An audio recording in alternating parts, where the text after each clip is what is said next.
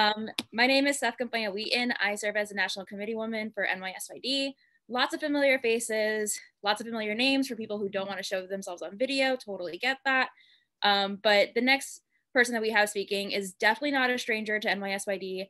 He is the biggest Star Wars and Mets fan Mets fan around. I don't know which is more important to him, um, but he also serves as the deputy majority leader. He represents the area where he was born and raised, and he has been leading on a ton of progressive issues such as eliminating cash bail and making sure that we have automatic registration of all eligible voters.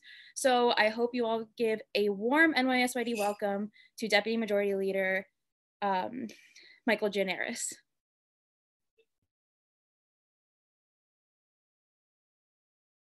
There we go. Okay, uh, what an introduction, Steph. Thank you so much for that. Uh, you laid it out there uh, for me with the Star Wars and the Met stuff, but it's true. Uh, I do love both of those things, but I also love progressive politics and our Democratic majority. And that's why I wanted to uh, be with you tonight. And I give a huge thank you to the young Dems who have been there with us through the fights. Um, you all are so young. It might have been other young Dems when we started it. Um, and you heard our great leader, uh, Andrea Stewart Cousins, who herself has made history as the first female leader uh, of a legislative body in New York State history.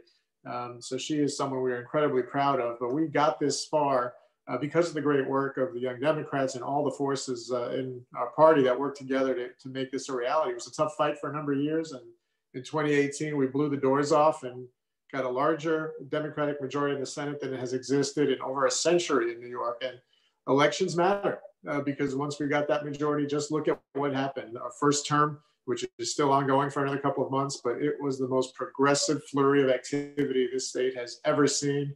Uh, we passed GENDA, we passed nation leading climate change legislation, nation leading gun safety legislation, the strongest protection for tenants that's ever been, uh, protections for our uh, immigrant friends, uh, reform of the criminal laws uh, in this state. Uh, and we're just getting started. Uh, we were incredibly prescient, as it turns out. We codified Roe versus Wade, one of the first things we did uh, in the majority. And now look what's happening uh, because of the uh, upside down federal government that we have. Uh, that is going to be in jeopardy if, if this nominee gets confirmed to the Supreme Court and tilts it further in the right direction of the right. Um, and so we've got our work cut out for us. Um, obviously, uh, the leaders uh, organizing work for, uh, for Biden and Harris. Encourage you all to help out with that. Uh, but we have a work uh, here in New York as well. We've got to protect the gains we made in 2018. Uh, we have many incumbents who won hard fought elections last time, who won with just by a percent or two, and they're targeted now by a lot of dark money. Uh, yes, the cosmetics heir is unloading on us, but so are some other people. It's millions of dollars uh, being pointed at some of our uh, incumbents who need help. And we're trying to give everyone company uh, in our conference. We are looking to grow in Western New York. We've got great candidates in Rochester and Buffalo, uh, great candidates in Central New York and Syracuse, great candidates in the Capital Region, the Hudson Valley, in the Southern Tier, uh, on Long Island again, and of course in New York City.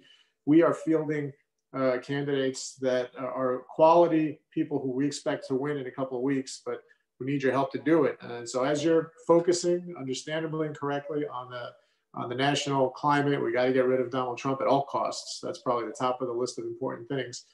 Uh, but a supermajority for us in the Senate will allow us to continue to do the great work we're doing, uh, continue to uh, make sure that our policies are enacted into law, and we can lead the country as, as an example uh, of what needs to be done uh, that other people can follow, which is what New York has always done uh, throughout the course of history. And so I too want to congratulate everyone who's participating tonight. You know, Mondaire Jones, I know, is coming up soon, future congressman.